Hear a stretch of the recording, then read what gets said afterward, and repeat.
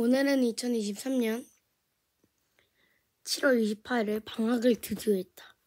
근데 오늘은 외로움이라는 책을 읽었는데 어떤 주인공이 엄마를 기다리면서 자신의 아기를 100명 낳고 신랑이 10명 있는 것을 해봤는데 그게 얼마나 좋았으면 계속 하다가 잠들었다. 그래서 엄마가 오고 나서 순대랑 김밥을 먹었다. 외로움을 없애는 방법은 바로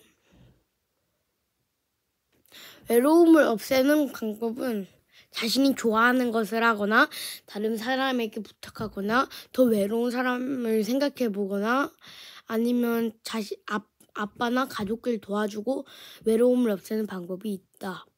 나는 이, 이것을 보고 나도 외로움이 느낀 적이 많았는데 맨날 핸드폰이랑 TV만 해서 이제 TV랑 핸드폰을 그만하고 나 혼자 좋아하는 것을 하고 싶다.